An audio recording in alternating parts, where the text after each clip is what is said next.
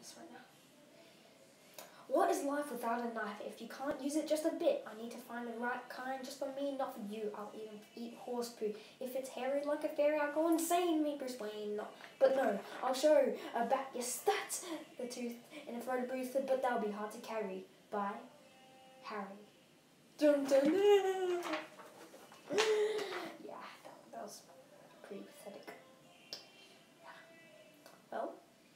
If you like this video, probably didn't.